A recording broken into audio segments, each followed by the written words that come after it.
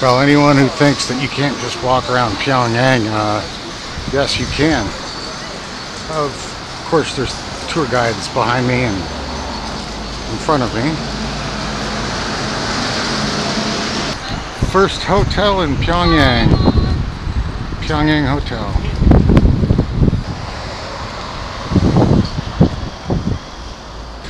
Walking around Pyongyang, trying to get a beer. Yep. Well, they'll take us to get beer. When you hear the bus start, it's time to go.